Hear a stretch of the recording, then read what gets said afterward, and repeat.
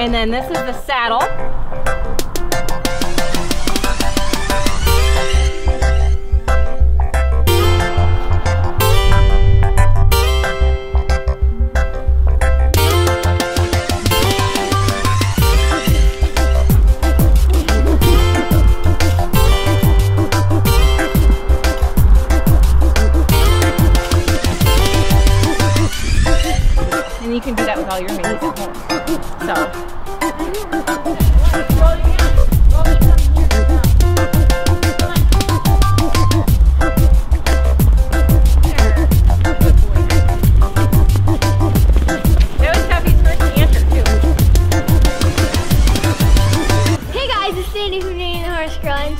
At Versatile Horsemanship with Brandy, and today we're going to be Today we are going to be hitching a miniature horse to a dog sled. And um, I'm gonna be teaching Dani how to drive a little bit. This is their first driving lesson, first time driving period. And then we're also gonna um, be hitching one of the big horses to a drag that I have. We call it the magic carpet. So it's kind of like snow surfing. So, Brandy has a YouTube channel called Versatile Horsemanship, and I want a thousand of you guys to go over there and subscribe to her right now.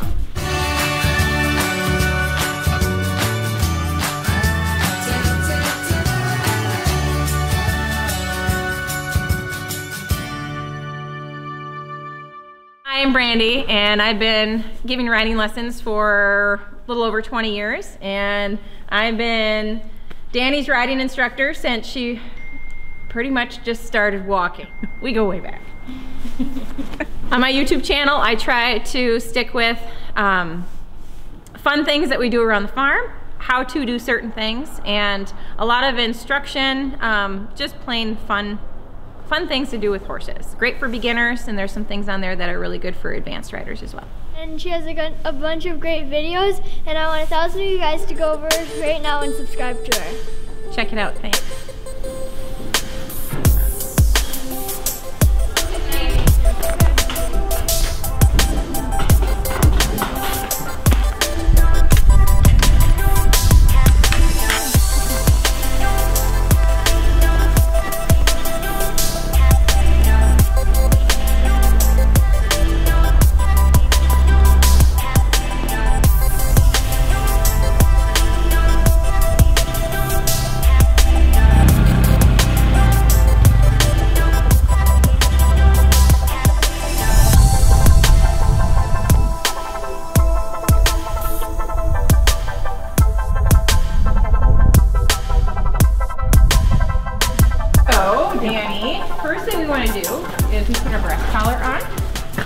Okay, and I just take the traces. These are the traces.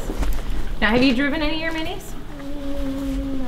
I tried to drive Ruby once, but it ended out horribly. okay, so, all right, well, here's your formal instruction.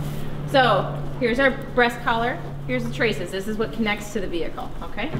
So, we don't need the full harness when we're pulling the dog sled or any kind of um, thing without shafts. We just need, just need, basically, this is the most important part, okay? This is called the saddle, and last time I had it on Miss Rosie, it was very difficult to do up because she has like three inches of fluff, hair-wise and weight-wise. So it just needs to be adjusted. All right, so your saddle goes on where your saddle would. This little thing right here would connect to your britchin. We're not gonna use any of that piece right now. So that goes towards the back. This little thing is for our check rein that goes up top. So there's two pieces underneath. Why don't you come on over here so you can see. Okay, so there's these two pieces here that we've got to do up. And I feel so bad because it's really hard to not pull her hair because she's on the, on the last hole and it's really tight. So she needs a different size harness. So I just be real careful not to pull any of that fuzz. And then this one here, same thing. We don't. This one, these don't need to be tight. This one doesn't anyway. Um, neither need to be tight per se, but you want it to be snug. This bottom one. This one should be relatively loose. So this is where our shafts would go. All right, that's the extent of it. All right, I'm going to take her halter right off because I feel like it's too much bulk underneath. Um, like I'm gonna be leading you for a bit, but I'll just you know, take a hold of her by the bitch or something if I need to. Last time I did it with the halter on, there was just too much bulk. I didn't like it. So I don't like having halters on underneath bridles of any sort anyway. So much hair, and all this hair has got to go through this hole.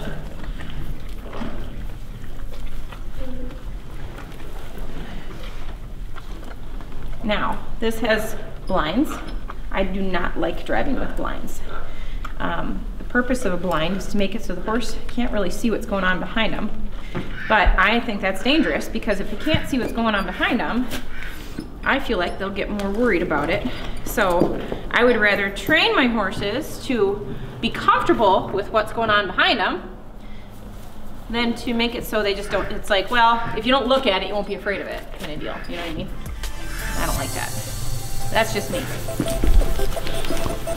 Um, you can find another.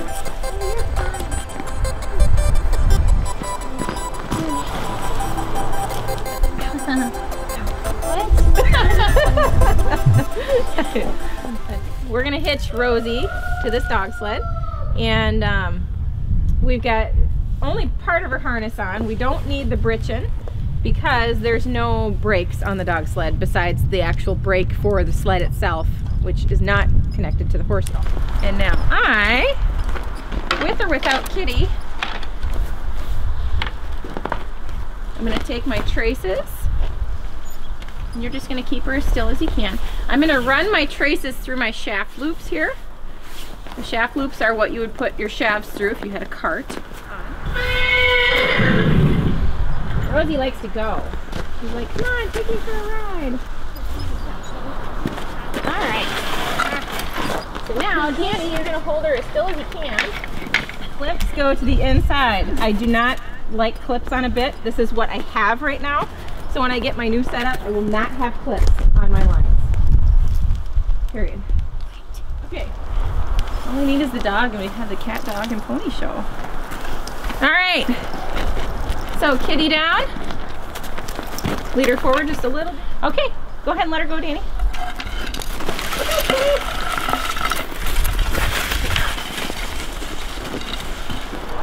Rosie is all go and no whoa. We got lots of work to do. Okay,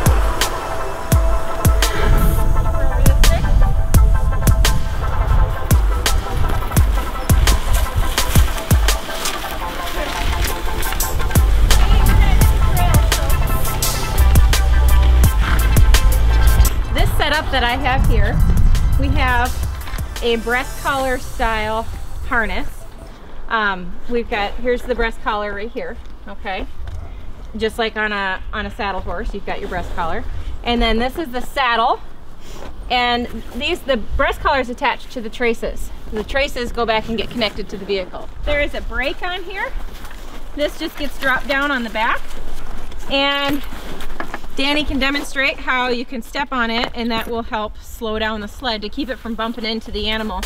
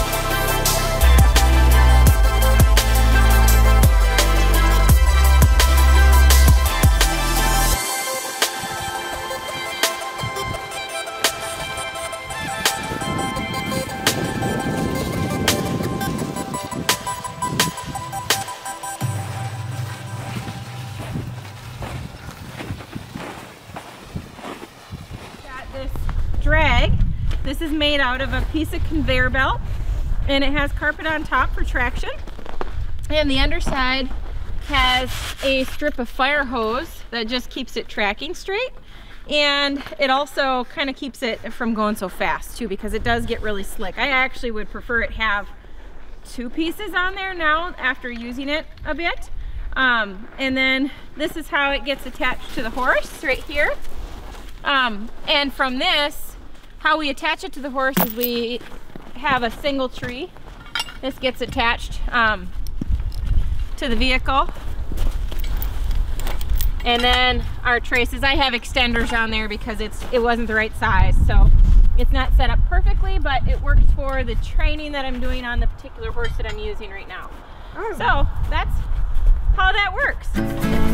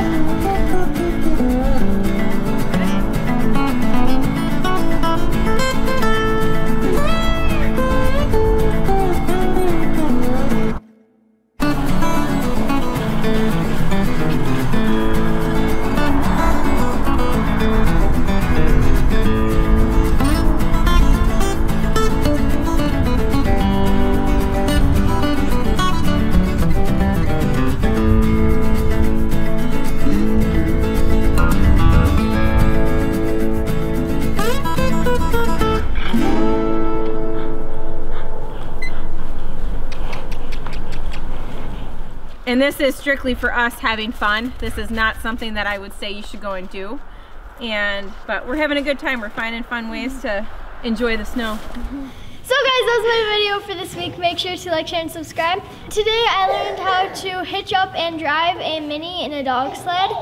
So it was fun to learn something new that I can try out at home with my minis when I start to learn, teach them how to drive. I learned something new that I've been wanting to try for a really long time and I want to start teaching my goat Blossom how to pull a cart so I can haul hay bales down to my barn easier.